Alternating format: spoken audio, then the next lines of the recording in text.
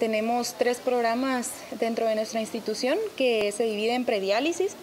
En el programa de prediálisis estamos atendiendo a 609 pacientes.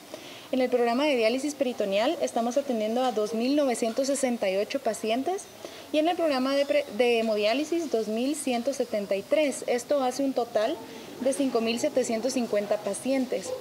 Ese es el total que se atiende no solo en la sede central, sino también en el edificio de diálisis peritoneal y en la sede regional de Escuintla y sede regional de Jutiapa.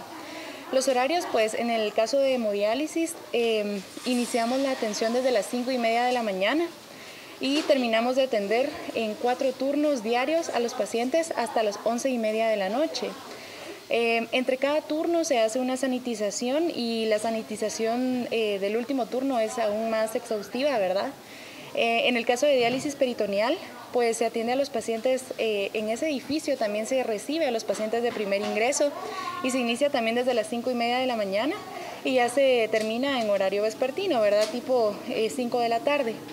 En el caso de diálisis peritoneal, las citas se están realizando vía telefónica. Tenemos a nuestros médicos realizando estas citas a través del, del teléfono y em, cuando hay alguna emergencia, pues sí se está atendiendo directamente en, nuestra, nuestras instalaciones.